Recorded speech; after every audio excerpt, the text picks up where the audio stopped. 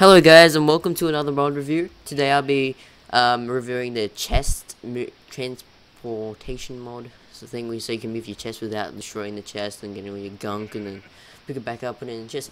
So what this chest makes you do is you create this chest transportator thingy stick pitchfork sort of thing in this formation, sort of like a pitchfork. I, it looks like a pitchfork to me, but anyway.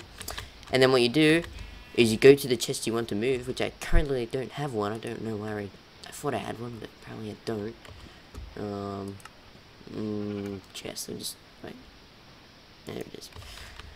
So what you do, just place it down, and you get this thing, and you pick it up. Okay, and what this does, when you, it makes it more realistic, and it, if you're not in creative mode, like, see, it will give you hunger, decrease, slowness, mining, fatigue, 4, and jump boost.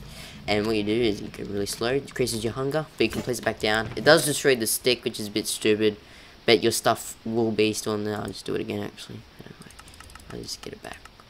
Oops. Hmm. Just do this.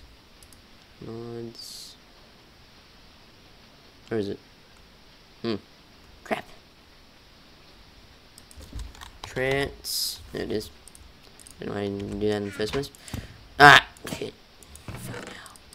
Alright, so you get this, pick it up, move over here, bam, and it's in there. So, hope you guys enjoy it. Thanks for watching, and I'll see you in the next episode. Bye.